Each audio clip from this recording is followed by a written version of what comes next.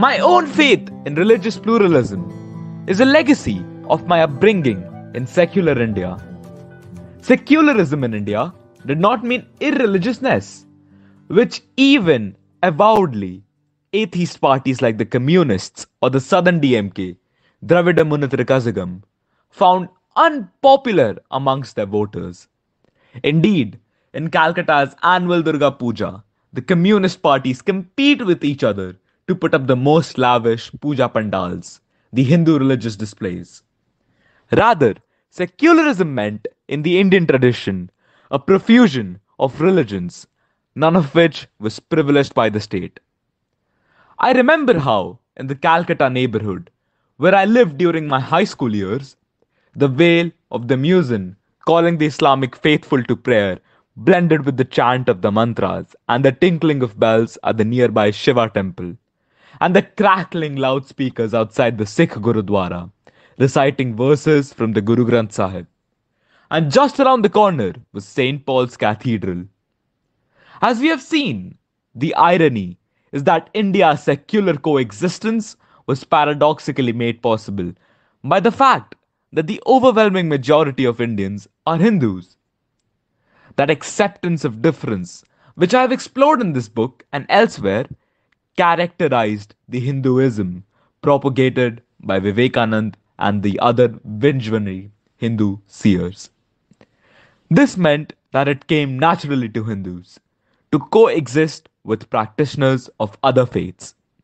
In a plural society, religious pluralism was merely one of its kind.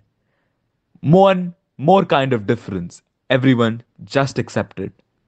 Just as we knew that around us were people who spoke different languages, ate different foods, dressed differently, and had different shades of skin colors from ours. Before we move on, I would like you guys to hit a pause and please subscribe to the channel. It's free of cost and you can always change your mind. And yes, for a way to start the booktube journey yet again with an extract from a new genre, a novel on a particular topic. In this case, Hinduism. And it's me, Prithu Shandilya, the co founder of Booktube, back after a long time. I hope you are up to date with the socials. The links will be up on your screen now and also the video description. And I hope you guys are following us through this. Now let us move on to the second extract from this book.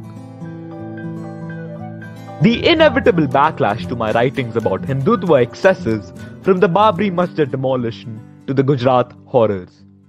It has largely taken the form of belligerent emails and assorted social media fulminations from the less reflective of the Hindutva brigade. I have been excoriated as anti Hindu and described by several as a well known leftist, which will no doubt amuse those of my friends who knew me in college 30 years ago as one of those very few supporters of Rajaji's conservative Swatantra party in those consensually socialist times.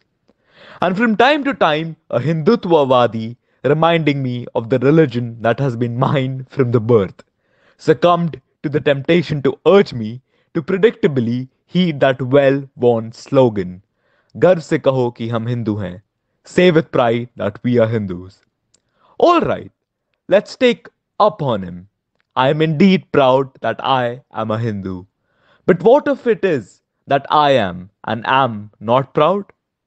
I'm not proud of my co-religionists attacking and destroying Muslim homes and shops. I'm not proud of Hindus raping Muslim girls or slitting the wombs of Muslim mothers.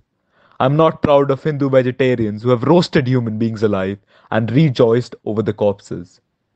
I'm not proud of those who reduce the lofty metaphysical speculations of the Upanishads to the petty bigotry of their own sense of identity, which they assert in order to exclude not embrace others. I am proud that India's pluralism is paradoxically sustained by the fact that the overwhelming majority of Indians are Hindus because Hinduism has taught them to live amidst a variety of other identities. Yes, I am proud to be a Hindu. We come to an end of this session with an excellent quote from Shashi Tharoor, reflecting the reality of the current religious scenario. And the book is Why Am I a Hindu by Shashi Tharoor himself, available for the price of 550 rupees on Amazon.in, published by Aleph Book Company. It's a tale of Hinduism and its core tenets, as well as socio-cultural developments in India that relate to the religion, while elucidating his own religious convictions.